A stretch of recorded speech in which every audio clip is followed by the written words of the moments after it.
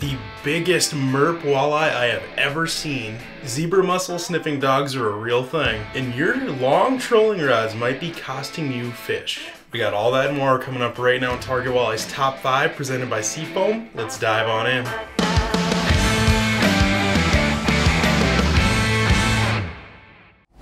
Number 1. Now, if you've been following Target Walleye over the years, you've likely seen us share photos of what have been coined as MERP walleyes. If you're new here, just buckle up. I just came across the biggest MERP walleye yet. It was on the Weekend Warriors Fishing Podcast Facebook page. They shared this photo of Tandem W, who caught it somewhere in Saskatchewan. What a magnificently strange critter.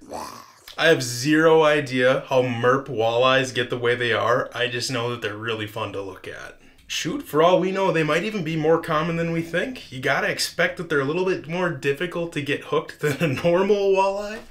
So maybe there's more of those critters snooping around, merping around the lake bottom than we know of. Number two. Now I know we're supposed to be talking about walleyes, and just hear me out here.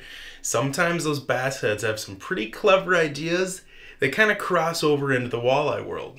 Bassin Pro Garrett Paquette must have ran out of ramen. That or, well, I guess he's got a lifetime supply of fishing candy in his garage to cook up.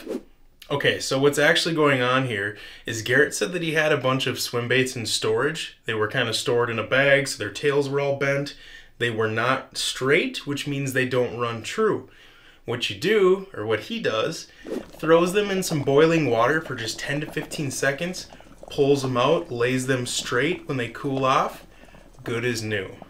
Super slick tip. I wonder if he adds a little sprinkle of garlic powder in there. Bam, bam, bam, By the way, little side note, I've also heard of some people who will do this process and then stretch or massage the tail out a little bit while the bait's still warm, and it can actually give those swim baits a lot more aggressive kicking action.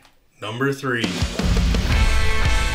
The North Dakota Governor's Walleye Cup is happening next week on Lake Sakakawea, and they are bringing in trained mussel sniffing dogs all the way from Washington State.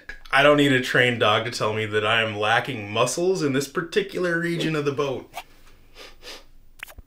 No, but seriously, these are professionally trained canines that are trained to do only one job, and that is to sniff out invasive zebra mussels and quagga mussels in the boats that are going to be lined up preparing to launch to potentially stop the spread of any invasives into North Dakota waters. And if I had to guess, this dog's name is probably Snoop Dogg. It's the one and only Digo Double G. Snoop Dogg.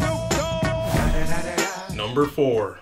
So first off, if you don't know Korey Sprengel's name, where have you been? The guy has cashed a check in 25 out of 40 national walleye tour events, and that includes five wins. The dude is the goat of walleye fishing right now. I mean, seriously, the back of his truck has got to look like Happy Gilmore's with all those big boy checks. So basically, when he talks fishing, I recommend that you, we all listen. So while most folks run longer 8, 9, 10 plus foot rods for open water trolling, Korey Sprengel actually uses a 7 foot rod because he isn't most folks. and it's not even a trolling rod, it's actually a 7 foot Fenwick HMG casting rod. A couple reasons why.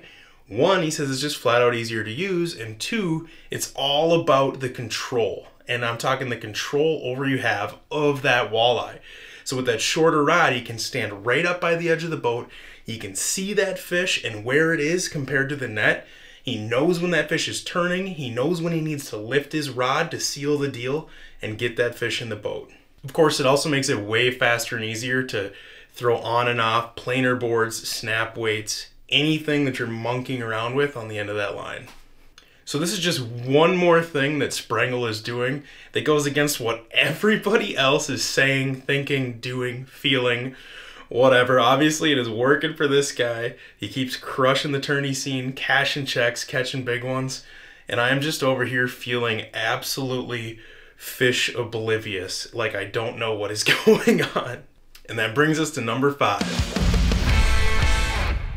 So something you might hear when somebody catches a small northern is they'll call it a snake. You know, anything that's about annoying size to catch. It's just a little snake, right?